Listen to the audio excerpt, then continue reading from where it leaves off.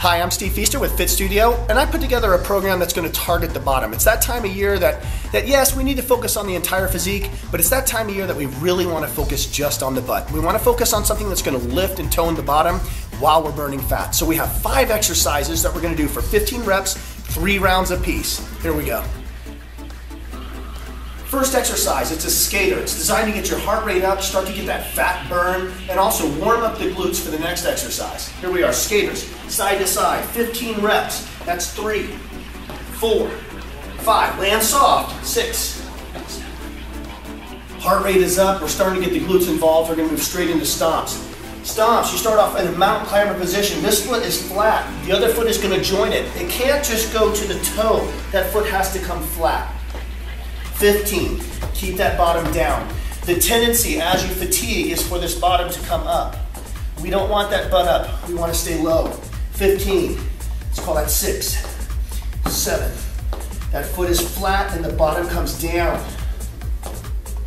Man, that's burning. Okay, that was my left leg. Now we're gonna do the same thing on the right side. Same exact thing. 15, get the bottom down. And three, now we're gonna move into an exercise that's gonna challenge you. It's gonna lift your cardio and it's gonna lift your butt. It's a squat press. I'm using 65 pounds. It's very important to find the appropriate weight for you. 65 pounds, first thing you do is you clean the bar into a racked position. Elbows stay in, bars resting back on my, my wrists and on my chest. Let the bottom go down, butt goes back, knees don't go in front of the toes. Chin is up, you're gonna squat, explode through the glutes. Your glutes are what's really pressing this bar up. You push hard. 15 reps.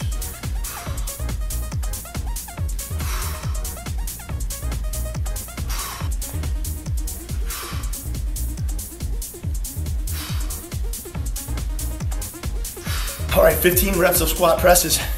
Tough exercise, especially when you follow up with Mary Catherine's. Now we're focusing on cardio and glutes again.